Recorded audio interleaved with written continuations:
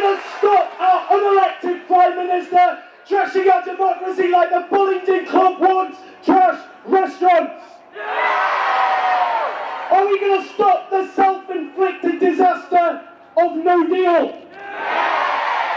And are we going to overcome the burning injustices that led this country to disaster? Friends, 200 years ago, thousands of Mancunians, women, men, children, gathered in St. Peter's Field and they were gathered to demand a say in the running of their own country. And they were massacred by the state in what became known as the Peterloo Massacre. It is an eternal reminder, an eternal reminder that our rights, our freedoms, our democracy were not given to us as gifts or acts of charity by the powerful, but won through the struggle and sacrifice of people from the below.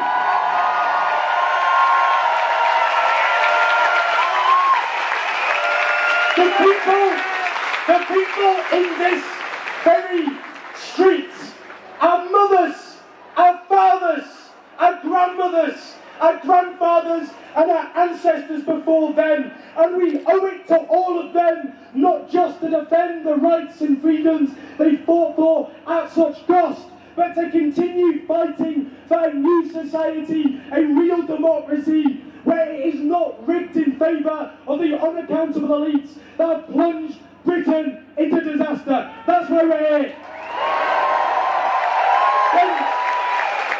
We were not were we not told, not told in that referendum that this was about parliamentary sovereignty? Take back control of our laws, and yet this unelected government has just shut down that very parliament. The liars, the charlatans, the cheats, that's what we're up against. And the self-inflicted disaster of no deal, that self-inflicted disaster. We were never promised it in the referendum, it was ruled out. In the last general election, most voters voted for parties that ruled no deal out. And we know what will happen if no deal happens.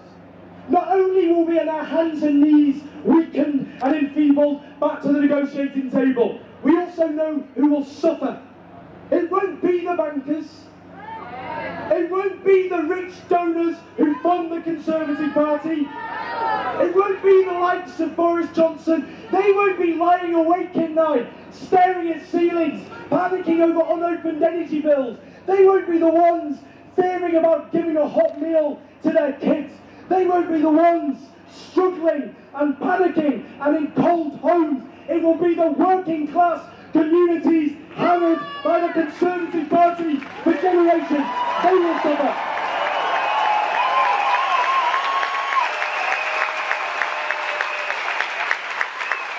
The guns fired. Here is my point. They don't call that a struggle for nothing. They are going to throw everything at us. We see what they're capable of. Have they not scapegoated migrants and refugees and Muslims for all the crimes and injustices caused by those at the top with massive hate crimes surging on the streets? Yes, they have. That's what they're capable of. And they will demonise us. They will demonise us as traitors, as enemies of the people, as saboteurs, and all the rest. That's what they will throw at us. But this is what we have to do. We are not talking about going back. 2016 was no utopia of happiness and unity. It was a time when millions of people were struggling.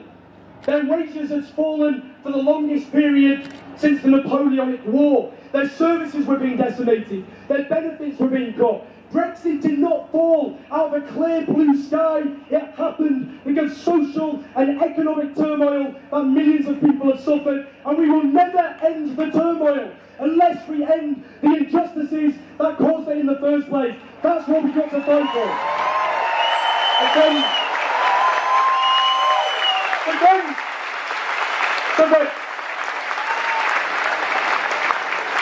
just as those before us struggled and fought with so much courage and so much determination.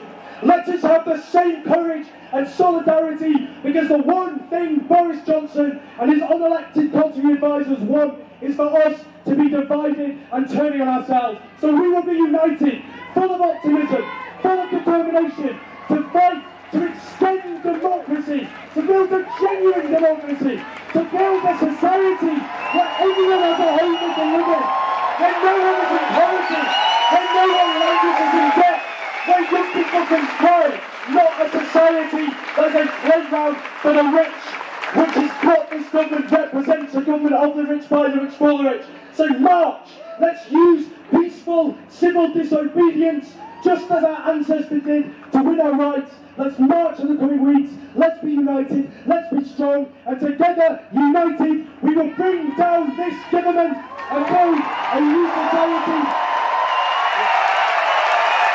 Go